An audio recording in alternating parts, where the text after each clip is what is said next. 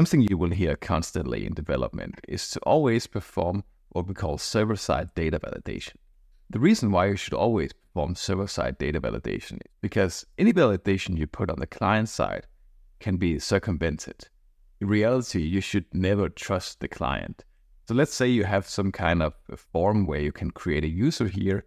For this form to work, you need to have a name that is greater than three characters. And uh, the button will be disabled if there are not at least three characters. So a bot is valid, but Bo is not. Uh, the reason why this looks uh, like something that will work, but totally doesn't in the real world, is because any client that is interacting with your application here in the browser can basically just circumvent whatever you're putting in the UI.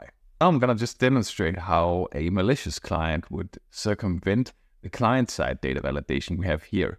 If you start off by just sending a valid request, like one with five characters, you can just copy the uh, uh, HTTP request here. And then instead of using the browser as the client application, you, you could just open up some other HTTP client like curl. And then in here, instead of using Bob, you now use Bo, which is a disabled character. So now you're basically just sending the Bo request here and you're getting a successful response because we're getting an ID back here. So we just circumvented the uh, button that is disabled here by just using a different HTTP client. So never put uh, critical data validation only in the client side. You can also have a client side data validation, but you shouldn't only have that. What you should be doing is you should go to your server application here. This is the endpoint that we're using. So there's a controller method that's taking in a create user DTO and it's injecting that DTO into a service method called create user. So here we have a create user method and the create user method returns a new user. So this is the point at which we would do the server-side data validation. Here you could do something as simple as just a Boolean expression. So you could say if DTO name uh, length less than three, and here we would throw new validation exception. Uh, cannot be less than three characters. So here the service is dealing with this uh, request by just throwing an exception, and then the exception will be pushed up to the controller. Here you could do try, and then just catch validation exception. Now we return a bad request to indicate a status code 400. And now we can just take the exception message here and we return that to the client. And we run the application once more. And now I'll just uh, demonstrate this. So I'll just demonstrate this here in the browser with a, uh, fetch request. Uh, so now instead of Bobby, we'll use Bo here, and uh, you will get a status code 400 back here and uh, go into uh, the users tab here and we'll see that it says cannot be less than three characters.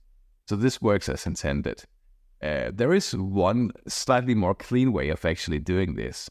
So if you just remove the try catch block here and uh, then just above your controller uh, class, you write API controller. So the API controller does a lot of great things. And one of the things is it makes a global exception handler for you. That means that if you have an unhandled exception, like this method here, uh, throwing a validation exception, and you are not locally handling it here, it will be handled by the API controller attribute. So I'll just uh, show you what that looks like. Now we try to actually send the invalid request here. Uh, we're going to get this back here. So there is a ton of stuff here. The uh, the response actually starts here, where it says cannot be less than three characters. So the the intended result of getting an invalid response is definitely happening. And this is some of the stuff that you'd be very interested in having on the server side. So if there is an exception, we can go into the logs here on our server application, and then we can uh, in inspect this but uh, maybe you're not very interested in sending this back to the client. Uh, so there is a way that we are actually supposed to handle uh, error responses that we are sending back to HTTP clients. And uh, inside of the builder phase here, you can add something called problem details. Add problem details. So uh, make a semicolon here and uh, shut down the application on the application again. So I'll just uh, try and show you what it's going to look like in a browser. Uh, so first of all, I had the, uh, this was the uh, invalid request that we had first, where it says cannot be less than three characters here. And then this is just a long stack trace.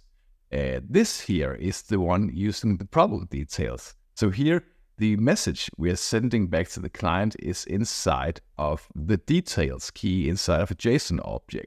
So this is just to show a slightly better way of actually making responses once the server application is denying some kind of HTTP request. So when you're making these uh, error responses, it is very essential that the service layer here doesn't actually know what the client application is. So right here we're using an exception, but that's just a generic C-sharp construct. Uh, it doesn't actually know that the API here is going to treat this in a certain way. You see, the API is one layer above the service. That means the API is catching the exception using the API controller, and then it is making an HTTP response once it has handled the exception. Uh, so that means anything below the API doesn't know about the network communication and how it's going to respond to a client. And also, you could never do something like return bad request here because bad request is something that exists within an API dependency. So we don't make HTTP responses here. We make exceptions. And then the exception is handled at the API layer, which then returns an HTTP result to the client application. Maybe you look at this code and you think, okay, then you're just going to have one if statement here and another if statement here and yada, yada, yada. Uh, yes, but we do have more fancy ways of actually expressing the data validation rules that we have. A, a uh, very common way is to put this on the model. So you could uh, take the DTO model here, uh, responsible for actually being deserialized into C Sharp. So of course, this is the model that's taking the JSON, and then the JSON is being turned into a tangible C Sharp object here, we have something called data annotations that we can put onto our properties here. So if you have some minimum length, then you can put the minimum length as a number inside of an attribute. So this here is also totally valid. So let's uh, try and rerun this program now. And uh, let's uh, try and send the uh, invalid request here so when you're using data annotations, the way that the error response is going to look like is this. Uh, notice that it says errors, and this is a, a nested JSON object, and it takes in some keys, which is the property names. So we have a property called name on our DTO model. And then there could be any number of validation errors. So you could have many things that are being violated, and it will just list these in an array and then if you have some other um, property like email, then the email could also have an array of uh, violations. So this is a slightly better way of doing it where you don't have to manually put in a bunch of if statements up here. However, we do have even more fancy ways of doing it. So I want to show you something called uh, Fluent Validation. So you can install it uh, using the graphical uh, representation of the NuGet package manager here in your IDE, or you can use a CLI for installing the package. I want to install the one called Fluent Validation to my service package, and uh, then I'm gonna install Fluent Validation dependency injection to my API project here. So first off, I'll just delete the old validation I have here. And uh, now I'm gonna create a class here, public class create user DTO validator, and it's going to extend something called abstract validator. And then I'm going to put in the uh, the type here, which is create user DTO. And uh, now we're going to make a, a constructor here. So I'm going to say public create user DTO validator. So there exists a, a, type here inside of the abstract validator called rules for, where you had to specify a property on your model. So you have a user here, and now you make this little arrow syntax, and you reach for the name property, and then you can take the length of the name string here, and then you can just chain together methods. So for instance, we want a name that is length of three or greater than, uh, greater than or equal to three. That would be the more correct way to express this. So of course, uh, the validator here could use many different properties. So you could have, let's say, 10 different validation rules for the same model. And now we need to actually invoke the validation using the validator here. Uh, the easiest way to do this, if you don't have any scalability in mind, is to simply just instantiate the validator. So you would write new, uh, create user DTO validator, and then you could use the method validator and throw here, and then just put the object into the uh, validate and throw method. So this way, if you're running the application now,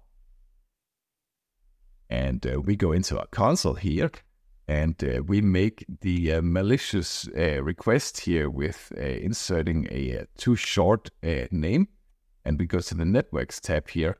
Now we get the, the, validation exception here, where it says name length must be greater than or equal to three.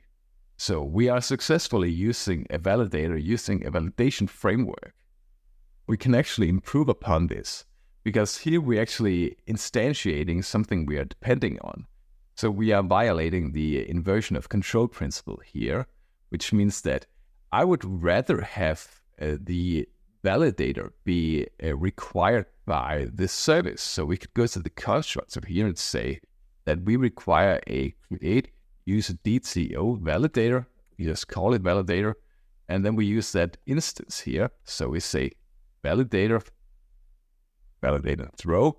We'll just uh, make an instance variable here. So validator equals validator, uh, create fields, and then require the instance variable here. So now our new problem is how do we actually inject the validator into the service class here? Uh, well, luckily that is not very hard. You can either go into the program CS file and do this in a semi-automatic fashion uh, just before the iUser service is being injected. Here, you go to Builder Services, add Scoped or add singleton, however you want to do it, and then just inject a create user DTO validator. This is one way of doing it. Uh, but the, if you have a lot of validators, which you might end up having if you start having a program that grows, uh, then this will become very bloated. And every single time you inject a new validator, uh, you have to go into your program CS file. So there is a more automatic way of doing this. So recall we installed the dependency injection framework for a Fluent validation into our API project. So if you go into your project file here and you see you have this one here, uh, that means inside of the program CS file, you also have something called add validators from assemblies or from assembly.